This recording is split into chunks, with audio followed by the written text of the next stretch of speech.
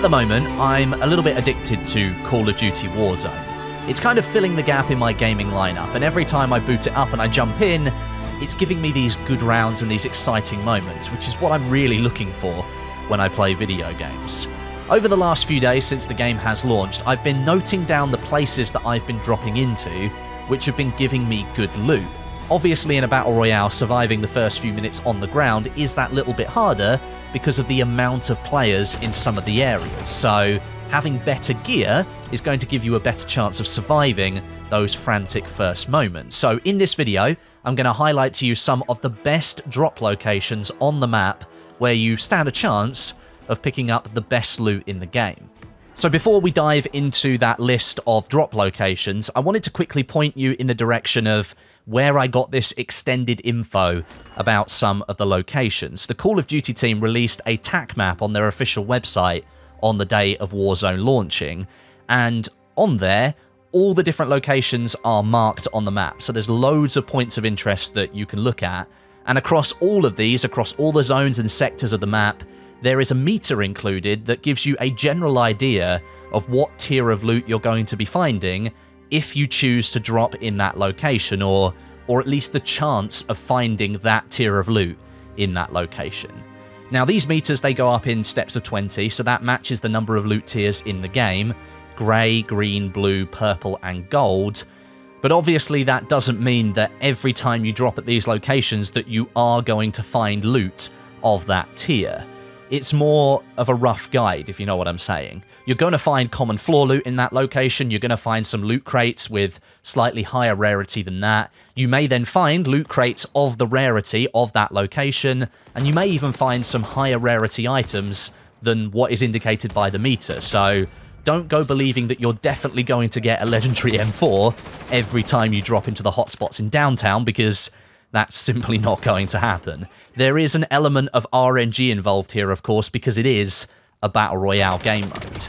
The TAC map has given us some great ideas of where we can drop and areas that will likely increase your chances of finding high tier loot locations, but overall just remember that things are still random when it comes to the loot table in Warzone. Okay then, here we go. Looking to the north zone of the map first of all, there aren't too many high tier loot spots over here there are only two that I can find on the TAC map. Part of the reason for this is because the north of the map is far less densely populated with points of interest and buildings than the south of the map. Warzone is quite severely unbalanced when you look at how the loot could spawn in terms of tiers. However, there are a couple of places you can go for, and, well, they're right next to each other. Over to the northeast of the sector, you're going to find the Karst River Quarry Zone, Within this, there are two areas that are listed as Tier 5 Legendary, and those are numbers 61 and 62, Rail Yard Bridge, and Shipping. And as I said, conveniently, they are pretty much right next to each other. The location features lots of warehouses for decent cover when you're landing, and if you're a fan of Ground War, then you've probably become familiar with this location anyway. If you land at either of these places, it is just a short run to the other one if you fail to find a weapon that's high tier enough for you. Next, we're going to take a look at the second sector, the west side of the map. This includes the International Airport, which is pretty large, Storage Town, and Atlas Superstore. These three locations all feature very high densities of loot spawn points. If you put to one side their rarity, that is, there's lots of common, uncommon, and rare places here too. So the chances of you landing and securing weapons at least is very high. That said, because of the density, you are going to find lots of other people dropping here, so be prepared for gunfights almost as soon as you've landed. Within the international airport sector, there are three tier 5 loot spawn points marked on the TAC map, numbers 4, 10, and 11. Number 4 is the control tower complex.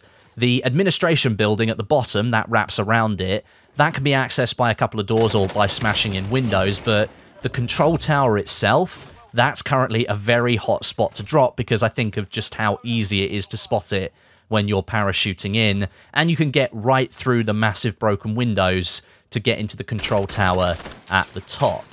Numbers 10 and 11, they correspond to the main terminal building and the terminal parking structure. Outside the terminal, on the air side, you're going to find a military camp that's been set up on the tarmac, and that sits either side of the destroyed plane, so there's lots of tents down there that you can work through to find loot. And then within the main terminal building, you're going to find a pretty busted up scene that's ideal for more close range gunfights. So SMGs and assault rifles, they will pretty much be the order of the day here. That's if you can find any. Lots of opportunities to hold angles and fight off enemy squads. And then the other tier 5 loot location over here in the west is Storage Town. Interestingly, Atlas Superstore, even though it's still a really good location to drop, is only marked as a tier 4 maximum location, although, as I've said, because things are random, that doesn't necessarily mean everything there is going to be tier 4. You could find some tier 5 stuff. But I thought this would be a tier 5 location because of the very high density of loot spawn locations, but that doesn't appear to be the case. Storage Town, however, is another dense location that's full of near identical storage units that house plenty of loot crates and floor loot that you can get into some instant fighting with. Because of the size of the location, you are going to find that lots of people again will drop here, and likely you and your squad will find it quite difficult to secure the entire location for yourself at least to begin with. Once other squads move off, you might be able to secure more loot as you move through. Moving on to the third sector now, moving over to the southwest of the map, there are four different tier 5 loot locations here, and the first one is number 14, Verdansk train station. Similar to the international airport, this is a very recognisable hotspot from the air, and that makes it a very obvious target for squads when the round is starting. I've been here a few times and I have found a few high tier weapons from different crates. The platform area is quite open and gunfights with players bobbing and weaving between pillars. That can make it quite a bit harder to navigate and you probably will take some damage here so if you want more cover then stick to the main building and the smaller buildings to the north of the tracks. The second location is number 9, Verdansk Hospital. The interior of the hospital is pretty much chaotic. There are corridors to navigate, there's reception areas, there's a main foyer, kitchens, cafeteria, and that's just on the ground floor. And then the first floor, the room above that, you're going to find lots more rooms that you can go into, more corridors, and you can get out onto the roof where there's a helipad that can be used for landing.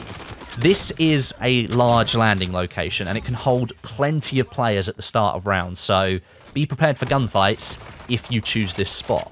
The third location in the southwest is number 41. It's the apartment complex, which is a trio of buildings on the eastern edge of the Barakett Promenade. There's a metro entrance here, at the moment is fully sealed. That does provide you some cover outside of the main buildings, but you could get stuck down there, as well as it being right next to the Ferris wheel, which in itself is a tier 4 loot location, so you do have plenty of options here if you wanted a slightly wider net to land on. And then the fourth point is number 35. That's the gas station, bank, and apartment blocks. On the northern side of the promenade, quite close to the location we were just talking about, so again, you could probably run here if you dropped and things were looking a little bit too hot. But it is a very dense area of buildings. It's going to provide you a lot of loot box spawn locations, plenty of floor loot, and of course, running into gunfights all over the place, you'll probably be able to pick up a bunch of loot from players that have been killed. You're in an urban fighting location, so if you need to disappear around a corner for some cover, there are plenty of routes that you can take here. Then we move on to the fourth sector. This is the big boy, Central and South. It includes the stadium, downtown, and TV station. In this sector, there are six different points of interest marked as Tier 5 loot locations. So, of all of the sectors that you can drop in in Warzone, this is the one with, on average, the highest chance of rewarding you with high tier loot. At the same time, however, it is arguably the smallest and most densely populated area of the map, so dropping here is going to be a bit like dropping in Tilted Towers on the old Fortnite map. Things are going to get a bit chaotic and a bit messy, but as long as you're confident in landing somewhere that you know there are a few loot box spawns, then you should be okay. The first point is number 3, BCH4 TV station. This point is set much further out from the downtown location, which we will talk about in a minute, and that means dropping here is likely going to give you a bit of a quieter start to the round. That being said, it is still a fairly large location, not really surrounded by much else, so I can't guarantee that it won't be popular, because it probably will be, but there's plenty of loot in here across the floors that you can move through. Then we have the second, third, and fourth points. They all line up in sort of a string, and they are right next to each other. Numbers 34, 35, and 36. The Entertainment District, Art Museum, and Art District. Now, I'd say these locations, because of their distance from each other, they represent the highest loot drop density on the entire map. And they sit in the shadow of the Verdansk Stadium, which is a huge landmark in its own right. So it's going to make this place one of the hottest drops that you can find in Warzone. These three locations all fall into a dense urban location. There's lots of streets for you to cross, other buildings that you can enter, and generally just hundreds of lines of sight that you could be shot from. So if you drop here, drop with caution because you're probably going to get spotted pretty fast. And then to add to that, the fifth and the sixth points, numbers 41 and 47, they are Broadcast and Burgertown and the Financial District. Again, these are nestled right within the downtown location, and they're surrounded with plenty of other buildings and places you can go, and they are right next to the other numbers 34, 35, and 36 that we just spoke about. So things are going to get pretty hectic here. Loot is going to be all over the place. And lastly, we have sector number 5, the eastern side of the map. This includes the port location, the prison complex, and Krovnik farmlands. There are three total 5-tier loot locations in the east. That makes it quite a bit quieter than the central and southern section that we just spoke about, so if you're looking for a relatively calmer start to your rounds, then I'd suggest going over here. First, we have number 74, Gulag Battlements. This is the entrance and prison exterior.